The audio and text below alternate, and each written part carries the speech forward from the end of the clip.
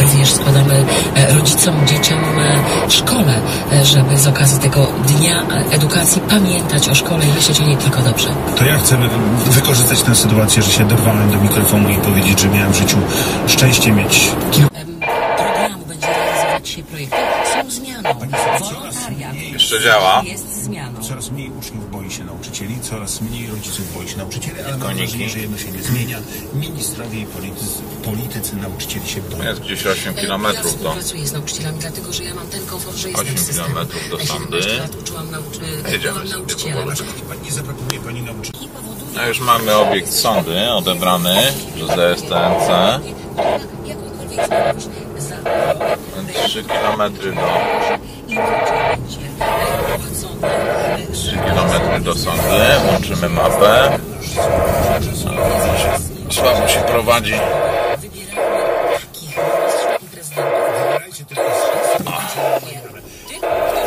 No, internet niestety słaby tutaj jak widać. Ale już widać gdzie jesteśmy. Jedziemy, zbliżamy się do... Zbliżamy się do sądy, do jestem ustawione do retransmisji e, pakietów sądy do sieci APRS. No i sobie jedziemy. Android ma taką fajną funkcję, że umożliwia. Ale górka, zobaczcie, jaki stromy zjazd. Nie wiem, czy to widać. Okej. Tak, Android ma taką miłą funkcję, że pozwala mm, e, rozdzielić ekran i u góry mamy APRS Droida, który odbiera dane na bieżąco z sądy. A na dole mamy nawigację Google'a, która mnie prowadzi do miejsca z odebraną pozycją.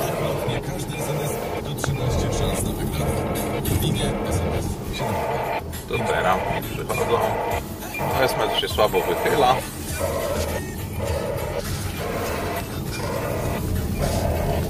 Musimy objechać rzeczkę i jeziorko, żeby dotrzeć do sądy. No nic, idziemy. No i ostatnia prosta tak naprawdę.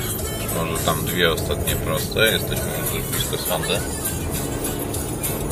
Teren fajny.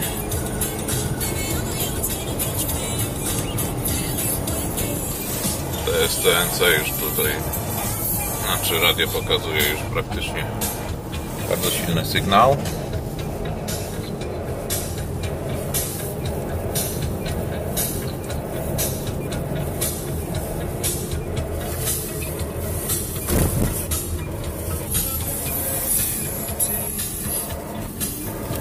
Jakieś zaorane pole.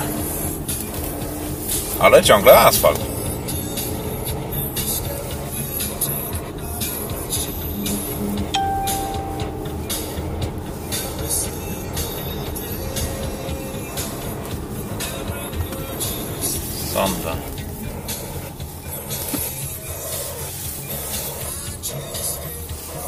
Czekajcie. Sonda powinna być gdzieś tutaj. Jakieś zabudowania, to jeziorko. I sonda, proszę bardzo. Sonda Drive In. Tak. A jeszcze sprawdzimy, czy to wszystko działa jak należy, bo widzicie, że to jest jednak większa odległość, ale to.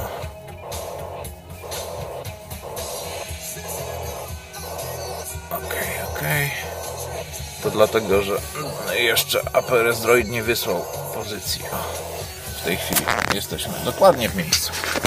Tak, wyłączymy autko.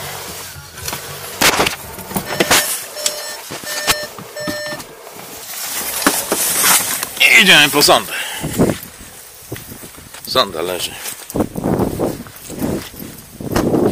Sonda leży tutaj.